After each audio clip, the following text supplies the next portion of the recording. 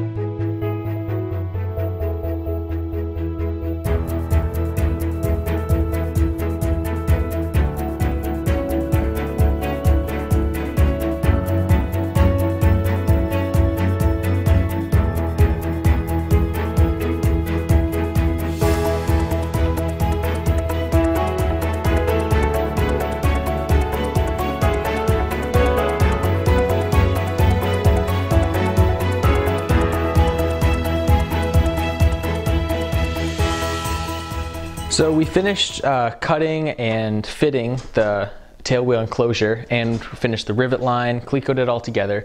And the plans say that this is pretty much all we have to do to be able to finish the enclosure, except we did find that the front of the enclosurement has um, not much strength, it kind of wobbles there. So um, we're gonna try to experiment and see what we can do to stiffen that up. Um, we have one idea that we can uh, put a, a half hat on the top and a half hat on the bottom and it's kind of sandwich them together with rivets um, and try to stiffen that up. So let's experiment with that.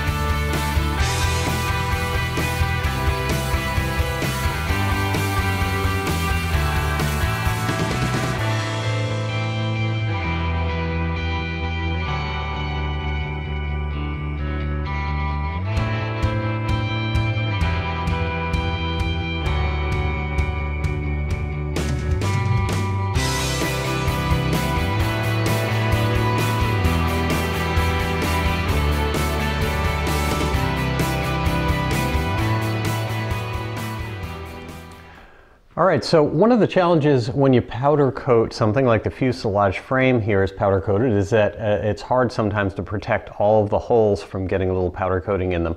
And um, we need to clear these out in order to mount the tail wheel or at least one of the components of the tail wheel. Now, a really good tool to have in a shop is a reamer. Uh, much, much more precise instrument than a drill bit is. And by taking a reamer and going across this, we can actually slide it backwards through because it's not, uh, has no flutes on the backside. And reamers are so sharp uh, and made of uh, high carbon, uh, uh, really hardened steel that I can actually bring this in and twist it by hand and slowly cut the hole that I need to the right size. And I can even do that by hand because the reamer is so precise. So I'm doing it here, working it across. You just have to be careful not to cut your fingers when you do this too because it is really, really sharp. but it works very, very well. And then I can actually do the same thing going the other way, and it'll maintain that alignment. So I'm going to push it back through here. And precisely, precisely the size that we need.